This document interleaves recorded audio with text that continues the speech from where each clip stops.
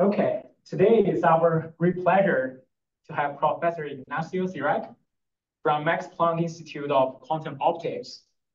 Ignacio got his PhD from Complutense University of Madrid in 1991, and right after that, he became associate professor at the University of Castilla-La Mancha from 1991 to 1996. And after that, he joined the University of Innsbruck as a full professor and stayed there between 1996 and 2001. Since 2001, he became the director of the Max Planck Institute of Quantum Optics. And in the year of uh, 2002, he became an honorable professor at Technical University of Munich. Ignacio has done many uh, great pioneering works. For example, he introduced the proposal of using cold atoms to do quantum simulation and quantum computing he also developed a theory of tensor network and made pioneering contributions to quantum algorithm, quantum communication, and quantum information theory. He has won many awards over the years, and here I just list a few. He was awarded the Benjamin Franklin Medal in 2010 and the Wolf Prize in Physics in 2013, and also no, uh, Niels Bohr Medal in 2013 and more recently, he got the Bell Prize in Physics and the Micius Quantum Prize in 2019.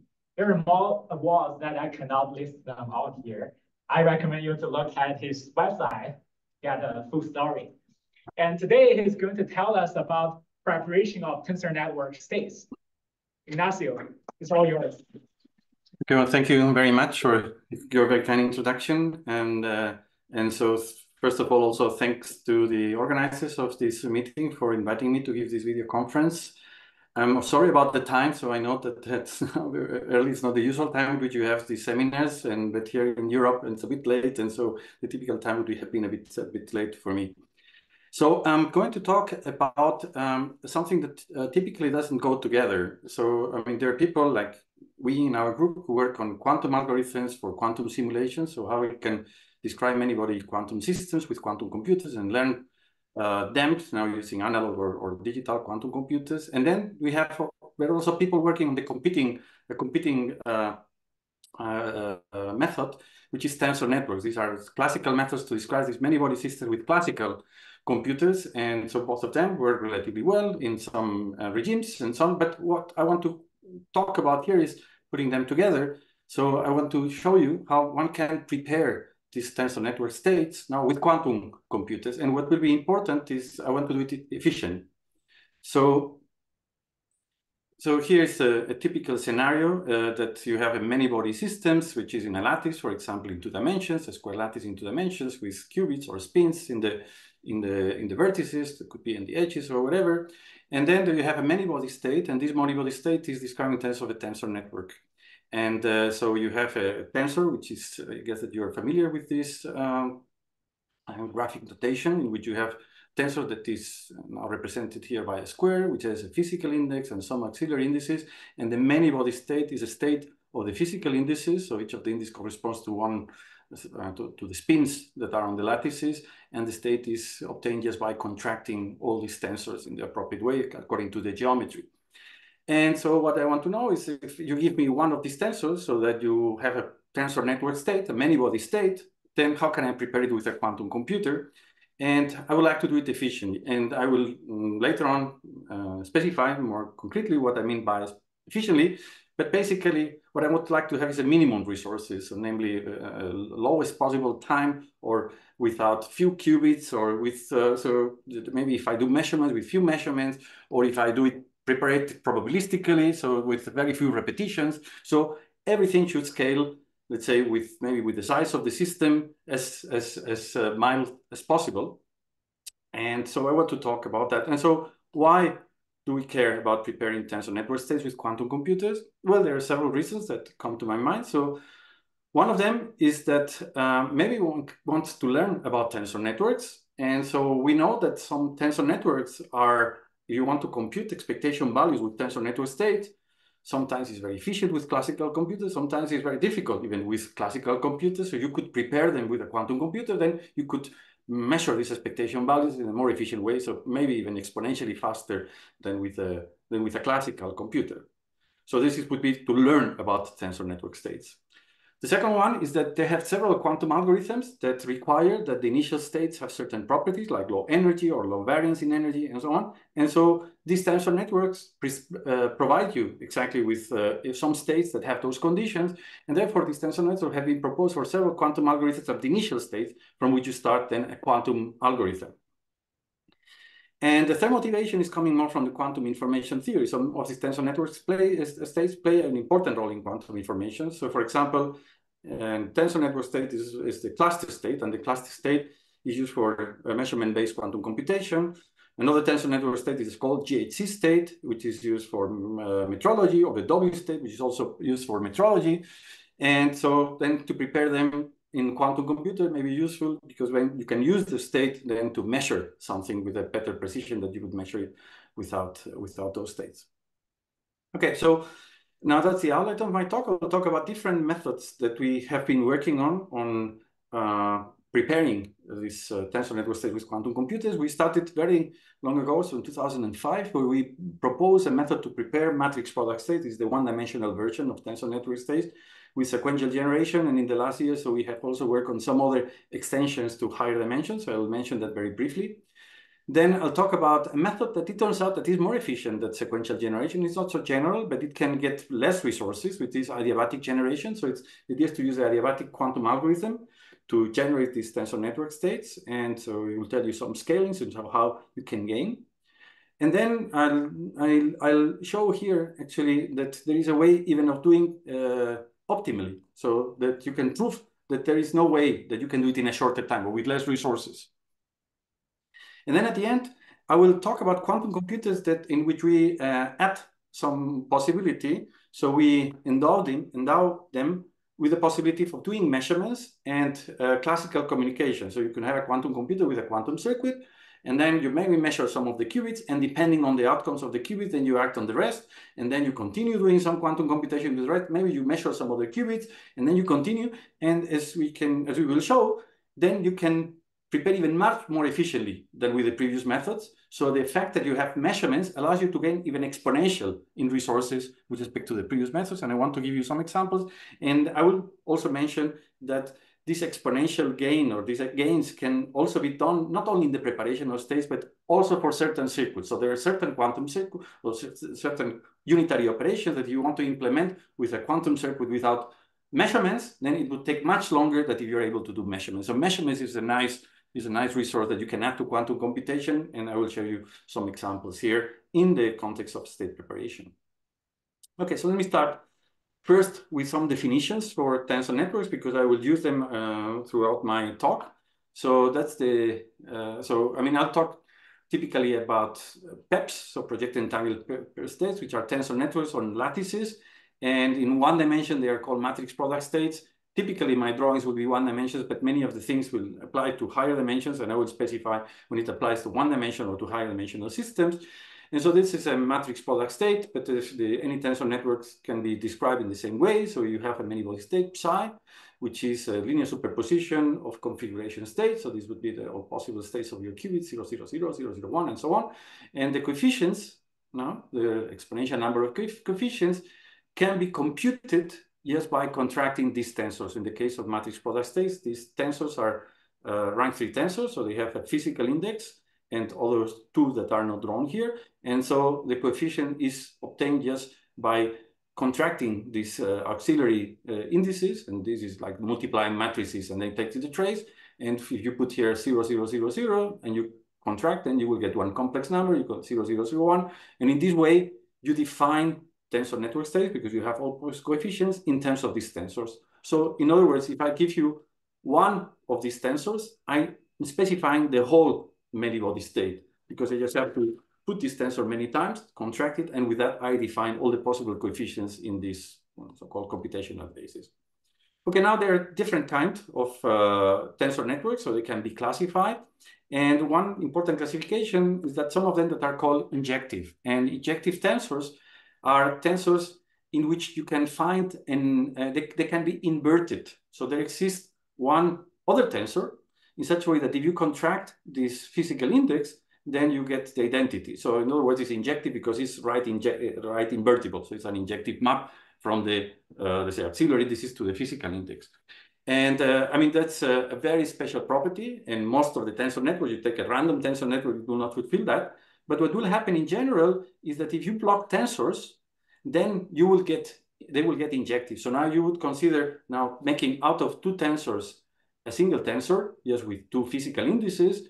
Then this tensor, now that it has like two physical indices, then will probably be injective. And if it's not with two, with three. And if not with three, what with four. And with a finite number of let's say, blocking of qubits or spins, then the tensors become injective. And if this is the case, then you say that the tensors are normal.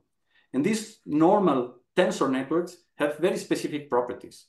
And one property is that one can prove that if you have a tensor network in such a way that by blocking it will become injective, so that the tensor is normal, then we know that there is a parent Hamiltonian for which this is the ground state and the parent Hamiltonian is local. So given a state, then you can construct a Hamiltonian, which has uh, some finite range interactions. And this Hamiltonian has a unique ground state, this many body state. And on the other hand, so it has a unique ground state. And for any finite system, then it has a gap on top, this, is Hamiltonian. And this is why when people work with tensor networks, you don't care about Hamiltonian. So, I mean, uh, people working in many body physics or in condensed matter physics, for example, they work with Hamiltonians, so people working in tensor networks, then they work with states. But if you want to talk about Hamiltonians, they can always build what is the parent Hamiltonian, and we know what the properties are and so on. So talking about the tensors is almost equivalent to talking about Hamiltonians. Now, there are some states or some tensor networks for which this never happens. So you can block as much as you want, and you will, will never become invertible. And these are called non-normal tensor networks. And in this case, if you have a Hamiltonian for which there is the ground state, this tensor network is the ground state, then this Hamiltonian will be degenerate for sure. So it cannot be a unique ground state. So just let me give you some examples of normal uh, tensor network states. So for example, product states are normal. AKLT states in one, two dimension, any dimensions are normal. And not normal tensor networks are GHZ state, W state, toric codes, any string network states, so the topological states, they are non-injective, uh, sorry, non-normal. Okay, so this will be important later on because this preparation will be different for normal and non-normals. It turns out that non-normal are more difficult to prepare the normal states that we will see. And you can understand because they have some topological properties. They have some property that you will require to have some, um, I mean, very deep circuits in order to create them because you have to create correlations over long distances, have to create long range entanglement. Okay, now the second concept that I'm going to use and I want to introduce, even though I'm sure that you know it very well, is about quantum circuits. So you have a quantum computer, then you can typically write it in terms of a quantum circuit and you read this from left to right. So time is running from left to right. You start with a state, which typically is a state all zeros, a product state. And then you have two qubit gates acting in, in nearest neighbors in one dimension, two dimension, or three dimension. And so then you can divide them in, in layers and, and, and uh, so its layers is such that each of the qubits interacts with the nearest neighbors in one of these layers only once, and this defines a layer. And now you count in a quantum circuit how many layers you have. This is what is called the circuit depth. And so I will talk about the circuit depth, and this will be one of the resources that I want to minimize. And talking about the circuit depth is like talking about computational time. So when I'm saying that it has a circuit depth of something, I said what I mean is very short. It means that the computational time, the quantum computational time will be very short. But this will be one of the most important resources that I want to save. I would like to have, we, we know, for example, that any many-body state can be created in uh, depth exponential in the size of the system. So here the goal would be to do something that is better than exponential on the size of the system, that is polynomial or even logarithmic. It would be very efficient if it's logarithmic. So that would be the goal. Okay, so this with these definitions, then you're ready to start just telling you about the different ways of state preparation of tensor network states. So um, this is the first paper that we wrote in 2005, which is very simple. So we realized now I'm talking about matrix product states. So these are tensor networks in one dimension. This is restricted to one dimension.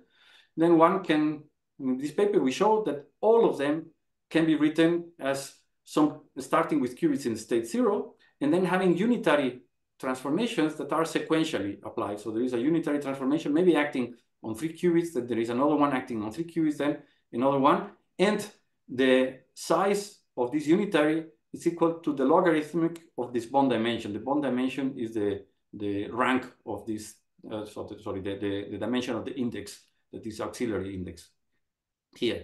So now what we know very well is that if we have now a three qubit uh, unitary or four qubit unitary, it can be decomposed in terms of a quantum circuit very easily.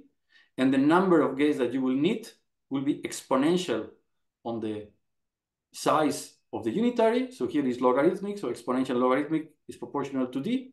And so you put this together, then you get that in order to prepare a matrix product state, whatever matrix product state, in this paper it was shown that it can be done in a circuit depth with scales proportional to the n, the number of qubits, so the, the system size, and d, which is this bond dimension. Okay, so now the goal would be to beat something like that. But before doing that, then we can we extended a couple of years ago to these to two dimensions. So that's now a sequential generation in which instead of applying now gates sequentially, first to the first and second qubit, second, third, and so on, what you do is in two dimension, then you follow some some particular path. So you apply now a plaquette of gates, and then you start displacing this plaquette. So you maybe apply it first to the beginning, then here, then here, then four, then five, then six, then seven. And then by doing that, this is also sequential generation. Then you will create certain tensor network states. And so what we show in that paper is that actually the subclass of tensor network states called ISO-TNS states or sequentially generated states, which were introduced before, then can be prepared in this particular way. And the time is proportional to the system size because the number of plaquettes is proportional of how many qubits you have altogether scale exponentially with the, with the area of this plaquette, but anyways, proportional to n. And what is interesting is that ISO-TNS contains, for example, all string net states. So it means that all topological states in two dimensions can be generated now with a, uh, in, the, in this particular way, in a, in a relatively simple way. But still, the circuit depth is not exponential in n, it's linear in n. So the goal now would be to improve that. So to have now preparation of states, which it's better than linear. And so this is why I'm going to adiabatic preparation. And so the adiabatic preparation is very simple. So you start with a product state, and now, which is a tensor network state, and then you start, uh, you look at the parent Hamiltonian that I told you before, that it always exists if you have a normal state. And now you start deforming the parent Hamiltonian in such a way that now the tensor network state is always the, or, or the tensor, the, the, you always have a tensor network state and the Hamiltonian that you have deformed is its parent Hamiltonian. So if you don't close the gap, then you will prepare the tensor network state as long as you can find that path right, that goes from a trivial Hamiltonian, so, so from the Hamiltonian of the initial state, which is a product state, to the parent Hamiltonian of the desired state without closing the gap. And so what we show in that case is that actually you can extend even to some mm, not only normal state, but even some non-normal PEPs. But as long as you can have a gap during this process, then we show in a particular way, which the basic idea is not to adiabatically change all the Hamiltonian at once, but to change first uh, uh, some place, some parts of your Hamiltonian which are separated by the correlation length, then some other part and some other part and some other parts. And if you do it like that, then you can prove that the circuit depth is polynomial in log n, not in n.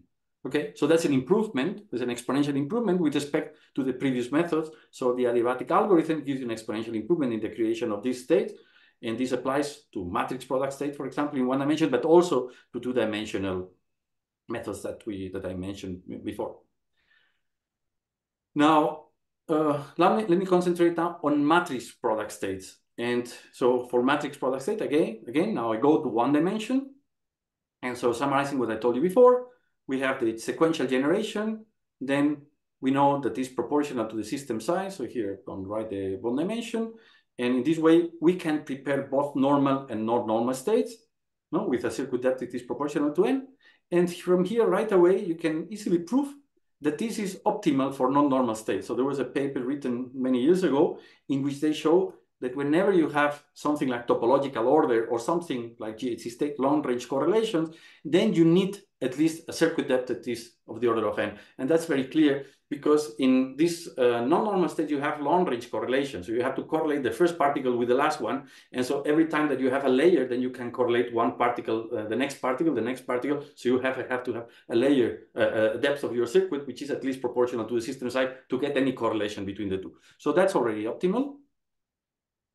And the adiabatic algorithm, I told you that is this poly log n. Is, is this optimal? Can you do something that is maybe log n or even independent of the system size? And so that's what we prove in a recent, in a recent paper. We show uh, a way in which we can create the state with a circuit depth, which is log n. It's not poly log n, so it's not log n squared, but it's log n. And the basic idea is to use this renormalization uh, group idea or renormalization procedure for matrix product state, which we, I mean, we developed many years ago. And the idea is that you have any matrix product state, you start blocking uh, this, this, as I mentioned before. And if you block as many as the correlation length, then you can approximate your state as a very simple state. It's a state which is created by having some entangled states, bipartite entangled states. This is what is represented here. So maybe these are maximal entangled state, and then having an isometry on top of it. And then what we did in this paper, and we show that this isometry can be created with a circuit depth, which is log n. And so now if you count what is the circuit depth, if these things can be done in parallel, it will be uh, log n. So this is why you have a circuit depth, which is log n. And now what we also showed is that you cannot do better than that. So we prove that it's uh, that there is a, lo a lower bound, which is also log n on the circuit depth to prepare a matrix product state, a generic matrix product state that is normal. Those are normal matrix product states, all of them. Sorry, I write it. I, I wrote it on top. And, and the basic idea is that if you, I mean, all these matrix product states have exponentially decay correlations. And if you want to cope for these exponentially uh, uh, decay correlations, then there is no other way that having a log n depth circuit. And I mean, the, the proof is relatively complex, but I mean, you can mathematically prove that. So we have now the optimal method to prepare these matrix product states. Now, now the question is we can do even better. So you can prepare matrix product states even faster than log n. So remember that from sequential, which is proportional to n, we go, went to log n now with an optimal, but now we are adding some other possibility to, to the quantum computer. We are allowing measurements and also that we act depending on the outcome of the measurements. So that's the scenario that we consider now. So we have our qubits again. So these are these qubits here. And we are allowed to have also auxiliary qubits. These are red qubits. And these are the ones that will get entangled and will be measured. And so the, what we do is that we have a quantum circuit now like before, maybe with several layers, maybe with one layer or two layers. And this quantum circuit is acting on the qubits and on the auxiliary systems, like here. And it has certain depth. And then what we are allowed to do is to measure the auxiliary systems. And therefore, we will project them out. And now we measure in the sigma z basis, for example. And then you will obtain 0, 1, 1, 0, 0, 1. And now, depending on the outcomes, then we allow to have now a unitary operator, a local unitary operator acting on the qubit. Because so that's mathematically what is written here. So we start with whatever initial state of our system, whatever initial states of our auxiliary system, which will be typically all zeros. Now we have a quantum circuit that is act on both of them. Now we measure in some computational basis, we get some outcome. And now depending on the outcome, we apply some unitary transformation that depend on K, on all possible outcomes to the system. And of course, the first thing that you notice is that this is not deterministic. So depending on the outcome, then we'll do different things. So probably we will have to repeat this until we are successful and we prepare the state that we want to decide. So now there are different, there are more than one figures of merit or cost functions. So first is like before, the circuit depth that we would like to minimize. Also the number of ancillaries for per site. So here I brought one, but maybe we need many, and maybe we need an exponential number of ancillaries, so this would be bad. So we have to also take this into account. And also the number of repetitions. So if we can have an exponential number of repetitions, then you can create any state. You can also prove that. So we'd like to have a small number of repetitions. And uh, so it turns out that it is possible to prepare some states doing measurements even deterministically. So that independent of the outcome of the measurement, then you will prepare the right state. So the repetition time, I mean, this R that they defined before, repetition is equal to one. And so in fact, it's easy to show, I will not show it here because I don't have time, that one can even implement a unitary transformation, which is this one here, is if the first qubit is in zero, I apply the identity to all the rest of the qubits. And if the state is equal, the first qubit is equal to one, then I apply sigma x to the rest of the qubits. So what I'm saying is that the process of uh, applying these unitaries, measuring the ancillas, and depending on the outcome, applying unitaries, all together gives rise to a unitary operator to the system. Here the ancillas don't, don't appear, and this unitary operator is highly non-local. And this can be done with a circuit depth equal to one, like is represented here, with one ancillary, one auxiliary system per side, and repetition equal to one because deterministic. So this happens, you're sure that whatever the outcome is, then you will apply this non-unitary operation. And this, uh, you can see that this unitary operator, you cannot create it with a normal circuit uh, or, or, with a depth one circuit. So you would not have measurements. It would take much longer to do that. It would take a circuit depth that is at, at least n. And the reason is because with this unitary, you can generate the GHZ state. It's very easy that you start with the first qubit in zero plus one, and the rest qubits in zero, and you apply this unitary operation, then you will get a GHZ state. But I told you that in order to generate the GHZ state, you require a locked dense circuit if you don't have measurements. So what this shows is that by uh, endowing your quantum computers with measurements and uh, actions, feedback, let's say, after the measurements that is unitary, then you can have deterministic unitary transformations that are much more efficient because require very little resources as compared if you wouldn't have measurements. If you wouldn't have measurements, it will have a circuit depth n, and here is a circuit depth one, and you just have to add one ancilla and measurements.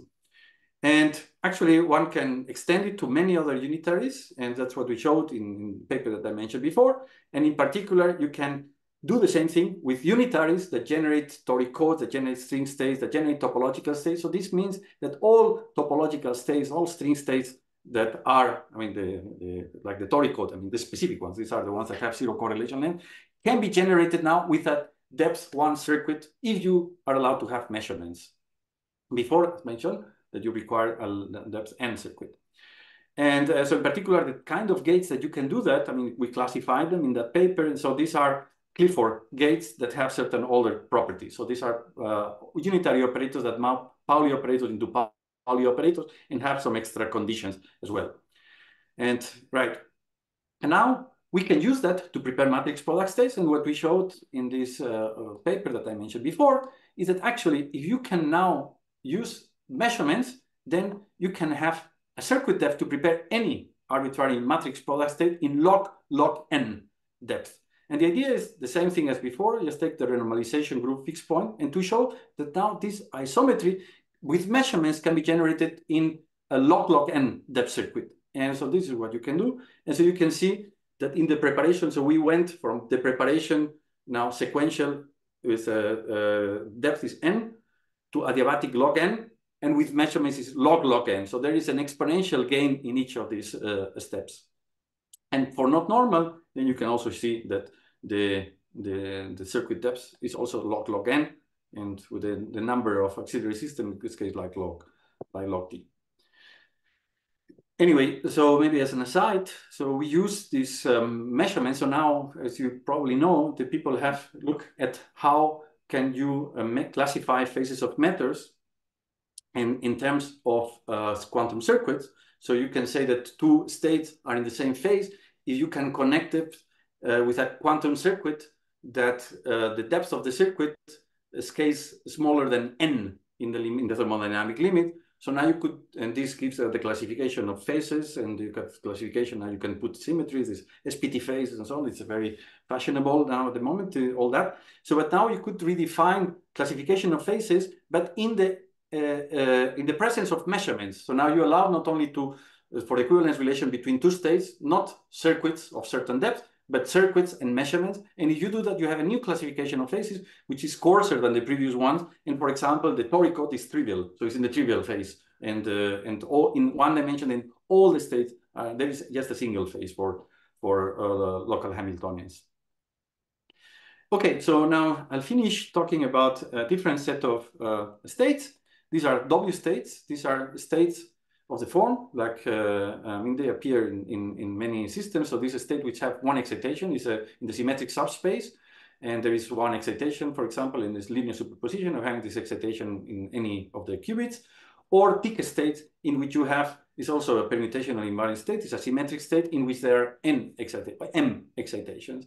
And so one can show that, uh, I mean, these uh, matrix product states, these, you write them as matrix product states, then they have, a, they can be written as a bond dimension that scales like only like the number of excitation plus one. So for example, W state can has bond dimension equal to two, and this one has bond dimension equal to n plus one. They can be prepared, of course, with sequential preparation with O, o, o n. However, they cannot prepare uh, efficiently with the methods that I told you before. So they escape the methods that I told you before. I don't have time to explain the, the research for that.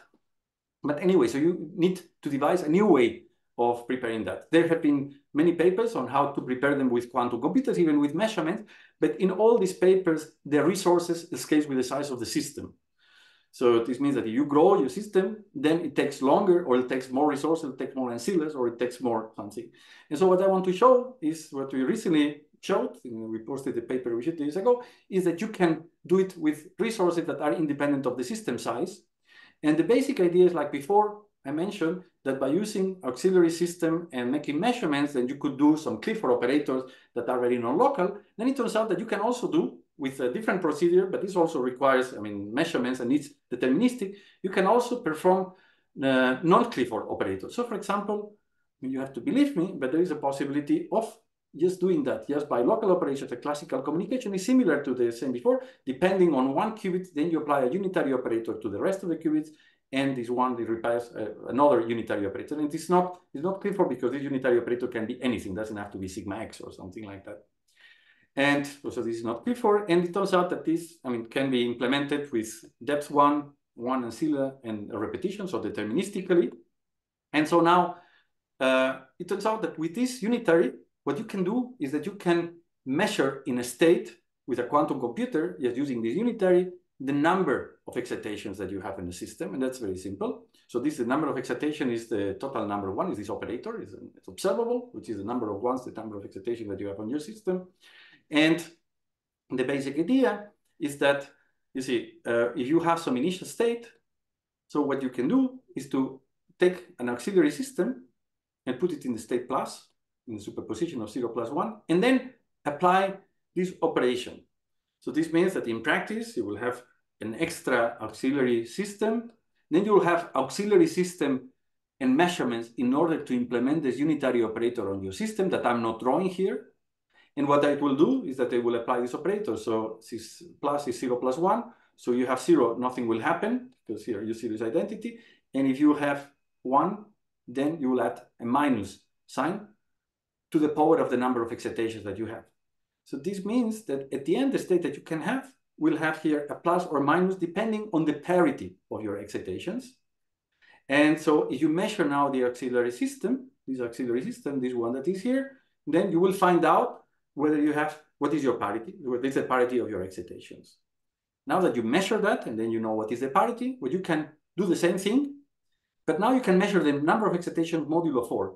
So what you have to do here is you to apply the identity, but here you, you take the square root of sigma z, so e to the i pi 4 sigma z. And so this, what we'll do is that we'll put here a plus or a minus depending if you have excitation, what is the number of excitations modulo 4. And then you can continue doing that and find with after X applications of the same procedure, you can find you can learn the number of excitations modulus 2 to the power X. And now with this tool at hand, then it's very simple to prepare Dicke states. So the idea is that you take a product state, which is a combination of 0 plus 1 to the power n of all your qubits, and you can write this state always as a linear superposition of these Dicke states because this state is symmetric, so it can be written as a symmetric basis, and the coefficient will be just the binomial numbers. And now what you would do here is that you measure the number of excitations. And since you know that this uh, depending on this value p that you have here, then this will be a Gaussian distribution, will be a binomial distribution, which will be centered around some number with some width. Then you have to make sure that have, you have to measure now the number of excitations within a width, let's say between m minus x square root of m and m plus x square root of m, which is the width of the binomial distribution. Then in this state, you measure the number of excitations, you will get one of these numbers, and maybe it's the wrong one. So you repeat. And maybe it's the wrong one, you repeat. So, but at the end, you will find the right number of excitations. And if you have the right number of excitations, you will have prepared the Dicke state with the desired number of excitations. So you can go through what is the number of repetitions. And so the number of repetitions of the probability, since it is interval is basically one divided by square root of m.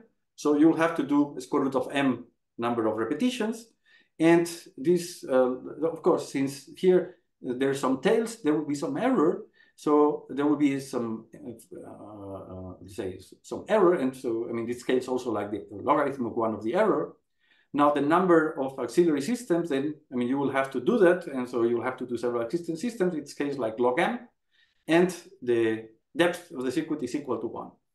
So this means that indeed these dolly states, uh, Dicke states can be now generated in with resources, number of repetitions, number of ancillaries, and depth of the circuit, which is independent of the size of the system. It only depends on the uh, uh, number of excitations of your state. For example, if you have a W state, the number of excitations is equal to one, so it case like one basically. So with that, I would like to finish. I think that my time is up. So we have introduced different ways of preparing tensor network states, matrix product state, or PEPs in higher dimensions, sequential adiabatic the ones based on the fixed points of renormalization group and the ones with local operations or classical communications. We have several results for matrix product states. I give you some, some ways of improving up to log log n. And also I showed that you can create Dicke states now with resources that are independent of the system size. And what I didn't mention here is that apart from preparation of states, then I told you that you can implement some gates as well. So or some unitary operators just doing measurements and now you can use these unitary operators to generate some or some quantum circuits more efficiently than without measurements. And so I guess that one of the take-home messages that I want to send is that apart from preparation of tensor network states efficiently with these methods, then applying measurements and uh, uh, classical communication, they can speed up some of the quantum circuits and speed up the quantum computation. And with that, I would like to mention the people who were involved in this project. So for the last uh, paper that I mentioned on the dolly states, it was Lorenzo Piroli and Giorgio Styliaris for adiabatic quantum computation, nine mass in Sichuan uh, way. And for some work that I didn't mention here, so just went through very fast, is Bañuz, Esther Cruz, and Flavio Baccari. And with that, I'd like to thank you for your attention.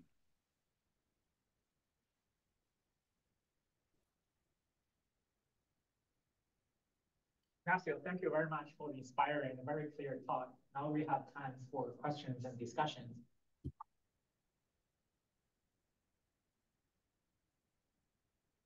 Also, for the online participants, you can just unmute yourself and ask. Martin. Ignacio, thanks very much. I'd, li I'd like to ask you, do, do you see impediments in extending to 3D um, no, no, no, no, I don't think so. I mean, the, the sequential uh, generation, for example, can be extended to 3D, but it will give you a subclass of tensor network states in 3D, so maybe they are not so interesting. The adiabatic generation would be, I mean, can be extended to, to 3D. So as long as the conditions are fulfilled, namely that you have always what we call this normal tensor network, so that there is a there are unique ground states of Hamiltonians and there is a gap on top, then you can use this adiabatic uh, method and uh, if uh, uh, and the and the and the computational time we scale like log n. So in fact, in the in the paper that we wrote for for the adiabatic computation, sorry, polylog n, then we were not restricted to two dimensions, so we did for for higher dimensions. Now, for some of the other things that I that I was mentioning, like the measurements, local operations, and classical communication. So here I was concentrated in at matrix product states basically and and this w state so it's one dimension so and but we also mentioned toric code so i guess that some of the things one has to see to which to which states can be can be extended but i would i would i would believe that that i mean a wide class of states that would take a, a, a, a long a big depth with a quantum computer now can be done in depth one with measurements. Thanks. Maybe, uh, so it's really exciting to see what measurements can do. Uh, what is the effect of imperfections in measurements and how do we mitigate against any uh, errors or problems that can come with imperfect measurement? Okay, so here now that's a, that's an interesting question that we are looking at the moment is that now, uh, of course, you would like not, to, I mean, another resource would be the resilience to errors. And so imagine that you have now, to make things simpler, that in each gate you have certain error with certain probability. So you apply some Pauli operator. And also in each measurement, you have the same error, right? I mean, that may happen in some implementation. Some of them, they're different. You will have to have different. But then the, uh, the, the, what you would like to do is to save in the total number of applications of gates or measurements that you do. And in our methods, we save also on that. So this means that if the errors in the measurements are the same as the errors in the gates that you perform, then you will do better than if you would do just without measurements. Now, if the measurement errors are much bigger, then of course it would be this would be much worse. But if but if they are small, then it would be even better. So this will depend. But I would say that if they are of the same order of magnitude, that you will gain because the number of operations altogether is smaller than what you have to plan. Thank you. Yeah, I saw a question from Thomas. Thomas. Oh, yeah. Uh, yeah, thanks for the nice talk. I, I sort of didn't follow this this work so far. Very interesting. Um, so you didn't comment a lot on the accuracy that you want to achieve. So do these different approaches behave differently depending on what quality of preparation you want to have? Okay, so that's uh, something that I didn't have to, to go through. So I gave so the the uh, sequential preparation. Um, this is exact. Okay, so this let's say as long as you can put many digits in your gates and so on. So this would be exact. The adiabatic generation is not exact. And so you have an error. And so you have uh, uh, um, a dependence on your error. So it, it, depends on the time and on the error that you want to achieve. And so it goes, I mean, the like in, in, in many of these adiabatic methods, if you do it well, it goes like the logarithm of one divided by the error, log one over epsilon. Because we know that you do things adiabatically and you do it with I mean, Gevrey functions and so on, that they have infinite zero derivatives at the beginning and at the end, that you can get this logarithm. So this, this happens here as well. Now, in the, in the uh, one with um, uh, local operations and classical communication that I mentioned to create matrix product state, that is exact. And the optimal is also exact, so there is no error. And for W states, actually, it scales like log log 1 over epsilon, for example, for the W state. It goes like doubly logarithmic with the, with the error.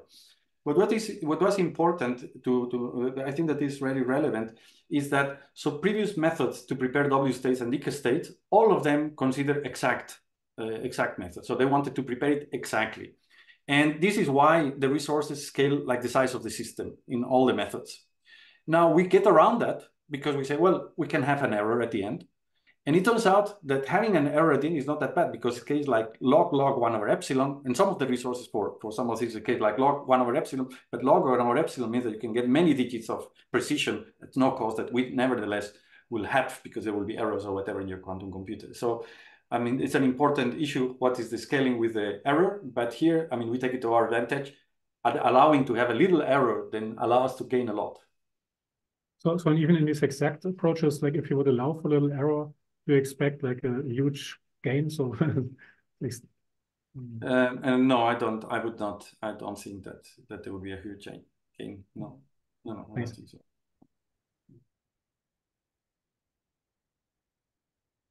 Okay. Any more question? Okay, I, I I'll ask one, and you guys have ask questions. So Ignacio, uh, because I, I heard the tensor network states, you know, encode the area law of entanglement in the states. I'm just wondering the improvement, uh, you know, given by the measurements, does that have anything to do with the area law entanglement of, of the tensor network states? Like, so what, no, in, in, in, in fact, so what we showed already in one of these papers that I mentioned here is that with the measurement, you cannot get around the, the, the area law. So if, you do measurements and classical communication, so you do a measurement depending on the outcome of the measurement, then you do unitaries or you do gates and you do something like that, actually very simple to prove. It's nothing very difficult, but you can show that, uh, I mean, you have a finite depth circuit, you will always have the area law. There's no, I mean, the measurements will not get around this area law. But still, this is why I mean, we don't we don't violate anything by saying that we can prepare with that one uh, Toric code states because Toric codes have area law, and so measurements. I mean, don't do anything like that. But we will not be able to create are states that are scrambled or something like that that have a lot of entanglement. These the measurements may help you, but you will have a depth and circuit for sure. You will require depth and circuit. Gotcha. Thank you.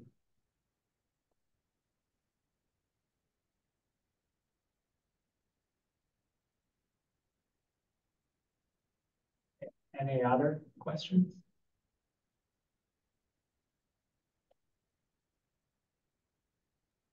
Eric, can I ask one more question? Uh, yeah, Thomas, please. Yeah, so uh, so that you can if you can prepare also PEPs efficiently, then the, the way sort of to doing this in, in VQE service is not very far, right? So um, do you see any any obstacles sort of uh, bigger challenge than to use this in VQE? This game? You mean to use these tensor networks as a VQE? Yeah. No, no, no. I think that this would be this would be. Uh, I mean, I mean, one question that that happens with VQE is that it requires sampling, many, right? many, many sampling, and and so to do optimization, it gets very hard. And so, I mean, you will not get around that. So still the case. I mean, you can prepare these tensor networks to change a couple of. So probably, I mean, what would make sense is that you have uh, you create a tensor network state, maybe a PEPS, then you use a classical computer to compute expectation values. You optimize the parameter, then you create it. And once you have created, then you put a couple of gates layers on top, and then you optimize with respect to layers to decrease uh, uh, further the, the cost function, to increase the cost function. So to get as much as you can with classical computation, and then you put it at the at the end as something that probably you cannot do classically. You need to I mean, uh, put it on top, and this will probably help. Yeah, yeah. Maybe maybe there's one yeah, yeah. Yeah, if you could optimize an overlap, right, that would be great. I mean, you're saying, okay, just just add more more sort of uh, gates on top to to improve the state. But if you really wanted to do an optimization, yeah, you can do gradient descent because you could uh, well, well, you can do. No, no, but if you have to truncate, right? No, you don't want truncations. No, no, yeah, you can do you can do like quasi Newton method or something. Yeah. I mean, the problem the problem there is, and you know this very well, is that this would be also a greedy method. So you fix now the tensor network and then put some parameters, but in principle, you would like to start changing your unitaries, let's say your gates, but also the parameters of your tensor networks, because yep. it's probably not the best thing to uh, just to fix them. And this will be hard again because it will require many many measurements. So. Yeah. Thanks. Ignacio, I have one more question. It's kind of my uh, curiosity of the technical details. So in the second part of the talk, the adiabatic preparation, uh, you mentioned without measurements, the log n is optimal. I'm just wondering how does the assumption of no measurements enter the proof of, of that log n as the optimal? Well, the, the, the, the basic idea is that at the end, you have to, to I mean, uh, you have you have um, uh, one of these tensor networks, and they have finite correlation length. And so one would say, well, okay, so let's prepare blocks that have correlation length or several correlation lengths. These are product states, and uh, this this will probably work. But how big they have to be the blocks? And so it will have to be like correlation length or something like that. But it turns out that now this state will not be exact. This will not be exact because at the surface you will make errors. So they will be very good at the bulk, let's say in each of the blocks, but at the surface they will be very bad. So the number of errors that you will have there uh, then would be basically the total number of qubits divided by the number of blocks or something or, the, or something like that. And so this is the number of errors. And then uh, uh, then what you say, well, let's but, but in order to reduce that, then let's make the blocks bigger. But if you make the blocks bigger, then the circuit depth goes up because you will have to do in each of the blocks, you will have to have a circuit. So you see that there must be a trade-off for doing that. And then the trade-off gives you this logarithm. So you do a back of the envelope calculation, you get this logarithm. So here, the, I mean, just the idea that you have to have create correlations at the, uh, uh, I mean, exponentially small correlations, right? Sorry, uh, exponentially decaying correlations. But still, in order to have some error, then they have to be a little bit of correlations, and you have to get these correlations right. And this is the, the part that, that I mean, require the quantum circuit. And the saying that you put, I mean, back of the envelope calculus will give you this log n. Now you have measurements, and it turns out that you can create correlations, even very long range correlations with measurements. So I, I mentioned before that you start with create like entangled states, entangled states, entangled states, like uh, a dimer state of entangled state, and then you make local measurements here, and you will create a, a, a correlations very long just with a circuit uh, circuit depth one. Okay, and so this allows you to create this correlation. This is what you can get around this uh, this log n. That's kind of intuitive idea. Yeah, that's very intuitive. Yeah, that's very helpful. Thank you. Okay, any final rounds of questions?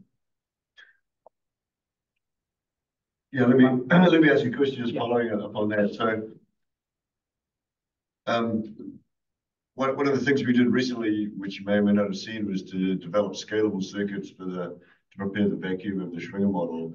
And so there was an optimization that's done classically using the DAP VQE, where a pool of operators, this operators are scalable.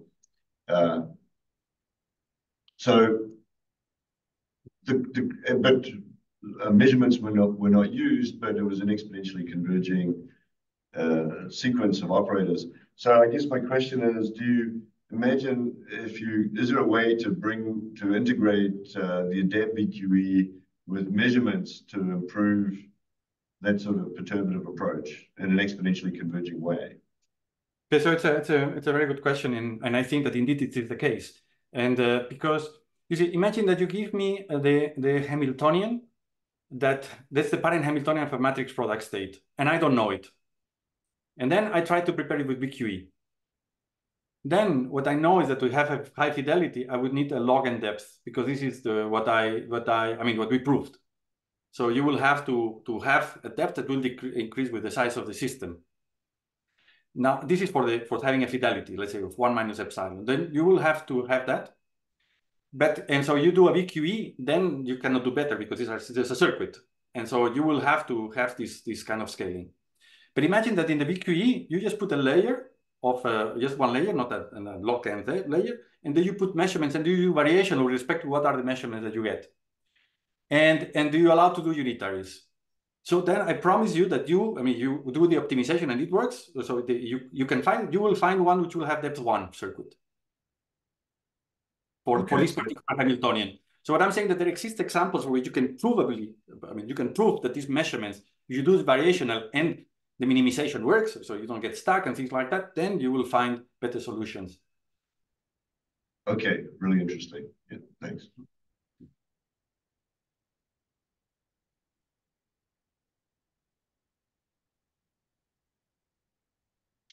Yeah, final chance to ask questions to Ignacio. I see no more questions. Let's thank Ignacio again. Thank you. Uh.